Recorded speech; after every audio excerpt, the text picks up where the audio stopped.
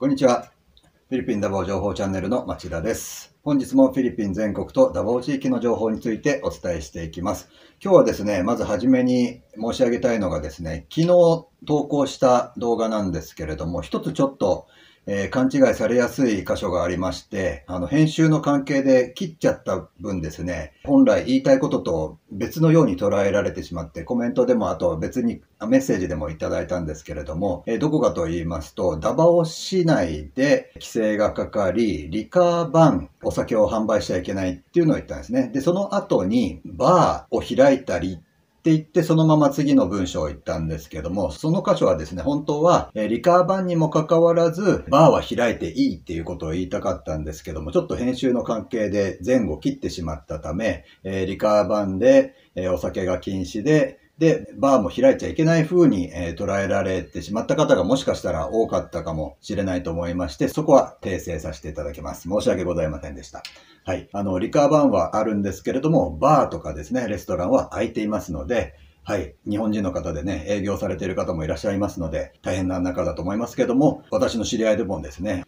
久しぶりにバーとか、お酒は飲めないですけども、空いているので、えー、久しぶりに行くっていう方もいらっしゃいましたので、楽しみにしている方もいらっしゃいますので、大変な中ですけども、頑張っていただければと思います。はい。それではですね、本日の感染者情報ですね。はい、こちらです。一番上の41,464人とあります。これはですね、感染者総数ではなくて、感染者総数から回復者数と死亡者数を引いて、現在治療中ですとか、まあ、陽性の状態が続いている状態の人の数ですね。ついに4万人を超えて、4万1464人となりました。その、えー、下の黄色の四角で囲ってある部分がですね、新規感染者数となります。2357人ですね。はい、またやっぱり多くなってますね。で、その下、NCR というのはマニラ首都圏、1824人の新規感染者が多く出ています。そしてラグーナ105人、カビテが62人、セブが49人、そしてリサールで39人新規感染者が出ているというデータとなっています。真ん中の円グラフは一番上のアクティブなケース、現在陽性が続いている人の中でどういう状態の人が多いのかっていうので、マイルド、軽症の人が90%でほとんどであるということが示されています。そしてその右側が現在のフィリピンでの感染者の総数ですね。65,304人となっています。そしてこちらがですね、回復者数ですね。新たに321人出てまして、これで回復者の総数が22,067人となっています。そして死亡者は新たに113人出てますね。そして総数が1773人となっています。そしてこれ、その下にですね、新しい表が載ってるんですけども、これは何かと言いますと、地域ごとに出た死亡者の数ですね。リージョンカテゴリー、左に7とありますけども、これはリージョン7第7地域とされているところ、これは中部ビサー地方ですね、セブを含めた。そこで5月、6月、7月でそれぞれ15人、48人、そして24人出てて、5月から7月までの合計が87人死亡者が出てまして、これはフィリピン全体で出ている死亡者の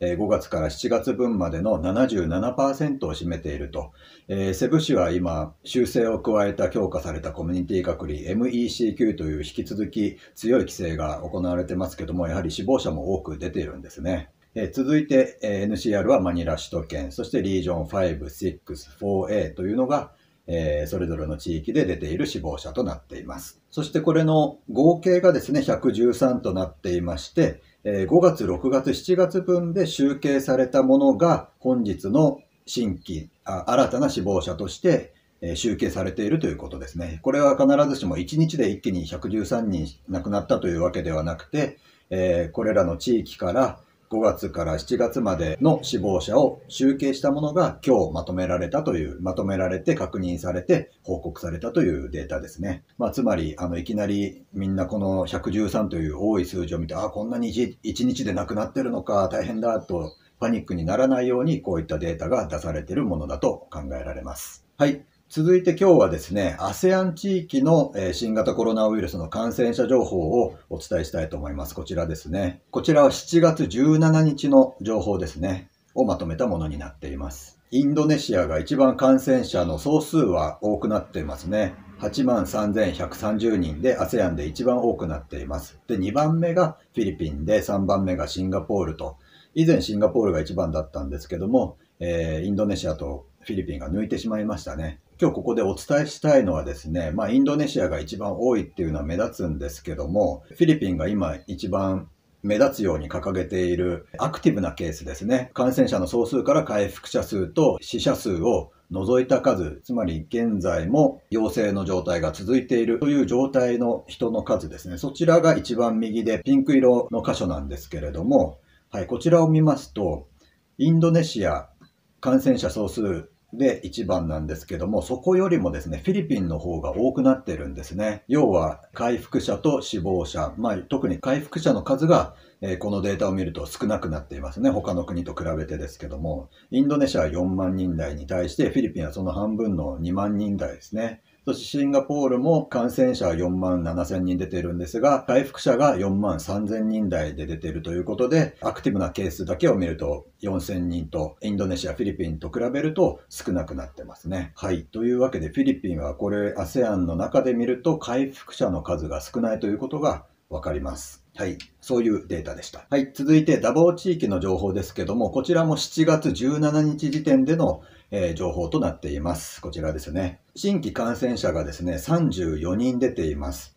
そして感染者の総数は912人となってますね。で、死亡者は新たに出ておらず、えー、死亡者の総数は引き続き42人。回復者は新たに7人出てまして、回復者の総数は496人となっています。で、左側にある円グラフですけども、感染、これは感染者総数912人のうち、黄色41%、これはアクティブなケースですね。現在も陽性の状態が続いている人が41%、そして緑の箇所は回復者、それが54%、そして赤い箇所が5%で、これは亡くなった方、死亡者の割合ですね。が円グラフで表されています。というわけで、現在アクティブなケースというのが374人いるということですね。そして、えー、下の方で示されている639という青い四角の中ですけども、これが1日で検査を受けた人数ですね。その、そしてその下のオレンジの箇所の34人というのが検査を受けた中で陽性であった人の人数が表されています。そして5%というのはその検査を受けたうち陽性だった人の割合ですね。全体のうち5%が新型コロナウイルスの陽性であったことが示されています。このままダバオ市の情報ですけども、ダバオ地域の保健省はダバオ市内においてコミュニティ感染となってしまっている地域をバランガイ23の市、ミンタル、ウハンギン地区、そしてアグダオ地区であることを発表しています。このコミュニティ感染というのはですね、何かと言いますと、感染者の追跡調査がもうできないという状態ですね。まだ一人出て、えー、その人の親戚とか家族とか、えー、その人が行った場所とかで追跡できているうちはコミュニティ感染とは言わないんですけども、もうどんどん